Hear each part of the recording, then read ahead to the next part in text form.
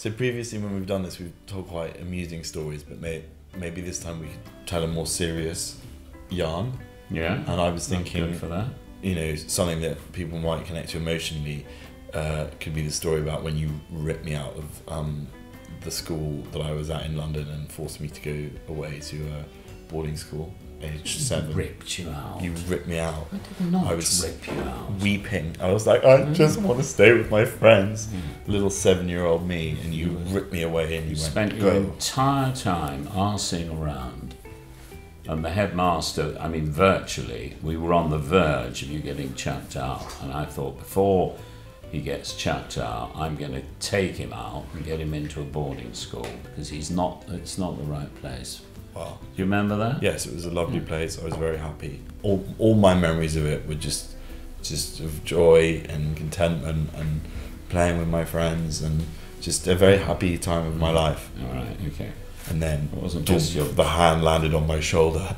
You're coming with me. it wasn't just playing with your friends that you were doing either. But What does that that's mean? another story. What do you mean playing? I don't, uh, let's not go there. I was seven. Um, if you're insinuating that I was, Okay, right. Wasn't that early a starter. You weren't seven, you were ten. I, You I you're remember. getting all the ages wrong here. You were a ten-year-old Okay. young man in a very good school, right. but it was a day school, and you were allowed to go a bit free and easy with everything. Okay. Ten-year-old young man. Yeah. So I said, I'm going to get you into a really good boarding prep school. I won't mention the name because I'm sure they don't want your name attached to them. So I went down and saw the housemaster, who I, was a friend of mine, and he said, You'll have to go and see the headmaster. So I said, Absolutely fine. And he said, I'll put in a good word because, you know, I'm very fond of you, Michael, and I'm sure Jack would be very good at this school. So we made an appointment. We went down to the headmaster's sort of house, it was. And if you remember, when we were in the car, right? That was when I had that nice, um, can't remember what the car was now, the Mercedes, you know. Um, it wasn't new, of course, I couldn't afford a new Mercedes because I was spending all my money on school fees. Well, not at that point. You had probably very manageable school fees until you decided that you wanted to send me to an expensive boarding school. So don't put the car at my door. Right. Um, on the drive down there, you were all fine and chatty and your normal self. Normal, yeah. Slightly going over the top, talking a lot, sort of leaping around, but But a you polite, conversational, Yes, young. Yeah, yeah, ten-year-old man. Yeah, yeah, yeah. The minute we got near where this school was, completely changed.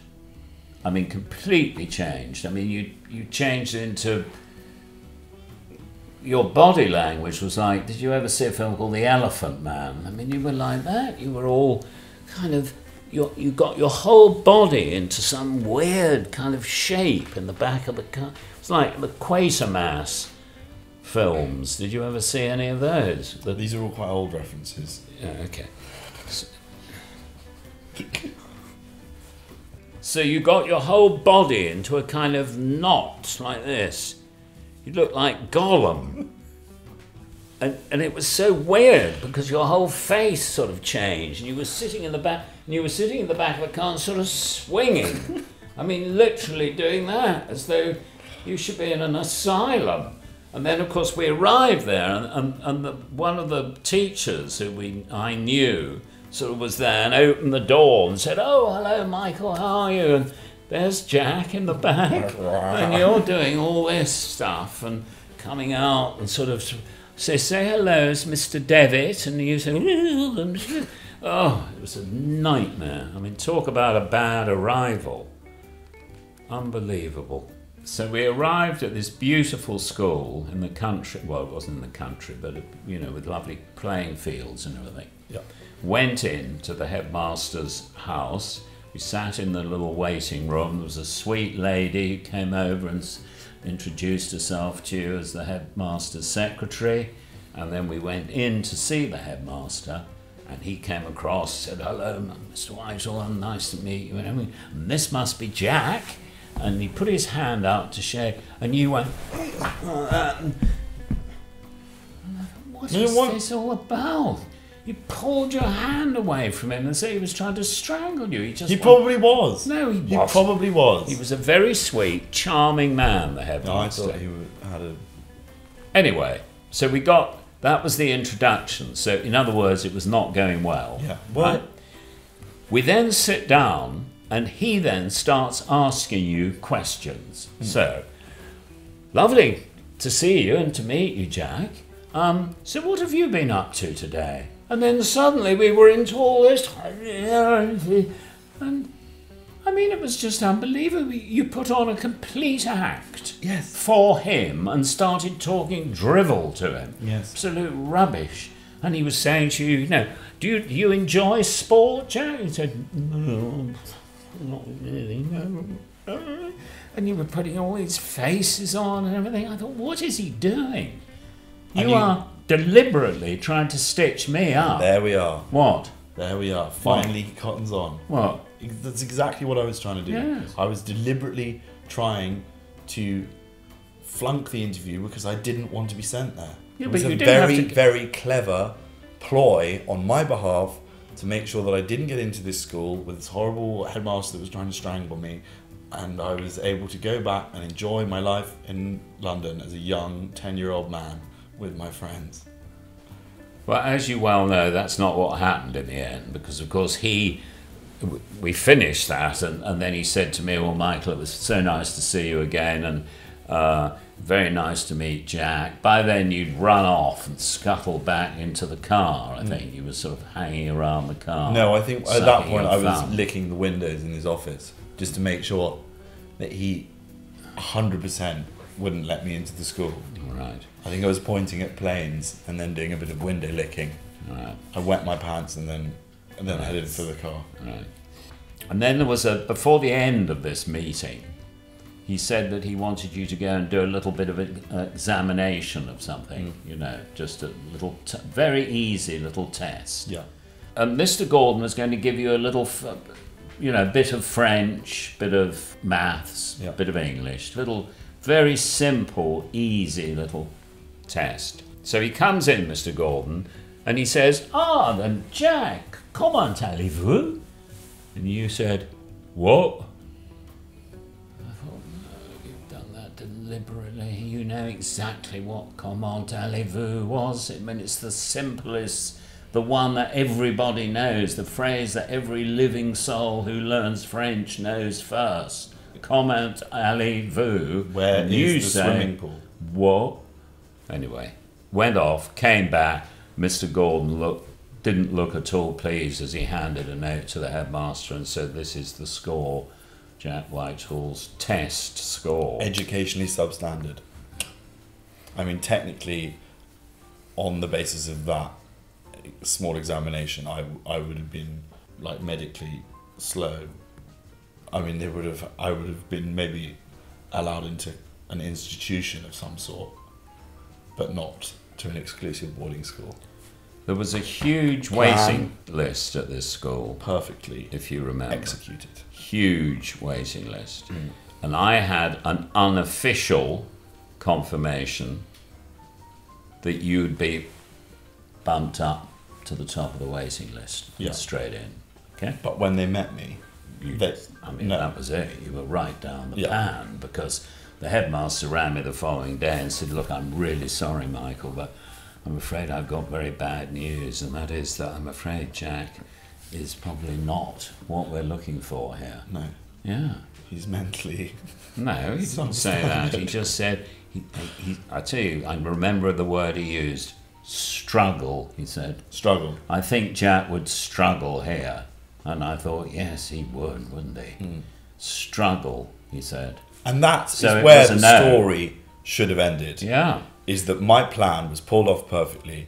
I pretended that I, I maybe had some issues, and therefore I should not have been admitted into that school, and I should have been able to go back to my friends. But then what happens is that you swoop in, as you always do, and ruin things by sucking up to the headmaster, by calling up some of your actor friends and getting them to suck up to the headmaster, offering him three theatre tickets to go and see your clients in plays. You That's not basically true. no, you Edward bribed Fox rang him and said, I'm playing the Theatre Royal in Bath, and you can have four tickets. I'm Yeah. getting the Winslow boy, and I'd love you, headmaster, to have four tickets because I'm a huge admirer of Michael Whitehall and his son. Right. And the headmaster Bribery. said, Thank you so much, Bribery. Edward. And incidentally, I loved you in Edward VIII and Mrs. Simpson. So this is like the college admission scandal in the US, but just instead of money, it's theatre tickets and favours from actors and lunches and dinners and premieres. Well, you, And I was bribed into a school that I didn't want to go to. I then made a bet with you, if you remember. Yes, I do remember. It wasn't a bet. It was. It was. wasn't a bet. It was, a, it I was an said- agreement. It was a deal. Okay, it was a deal. I said, if at half term Yeah, you want to leave, I will let you leave. Do you remember that? I do remember that, and that was Because the only then reason. you were doing all that and all that rubbish. Uh, and I said, okay, Jack, I'll, you can leave at half term if I didn't like it, if you didn't like it. So you went there And I, in the and I- in the autumn term in September. and because I'm a very outgoing and open-minded person, I did Yeah. end up enjoying it more than I thought, yeah, and I had you, did. you loved it. a then. good first term. Yeah. And I, and I admit that what helped me get through that was knowing that had I come to your half time and said I didn't want to go back to Mhm. my friends, you would have allowed me to, Yeah, and that is the case. Yeah. You would have definitely that allowed, helped you a lot. and you would have allowed me to return to my friends had I said I, I, what? that if I had come to your half time and said actually I would like to go back to my old school, you would have let me. No, of course I wouldn't. Ridiculous. What was take you away from So the agreement was actually made under false pretenses, and I wasn't. tricked. I just no, it I was, was tricked tricked. It was just to encourage you, so that you could you could take one step at a time. So you're unhappy at the very beginning, but then you're thinking, oh. I can leave at half term, and then the weeks go by, and it's half term, and you're thinking to yourself, actually, I quite like it here. I think I'll give it another half a term.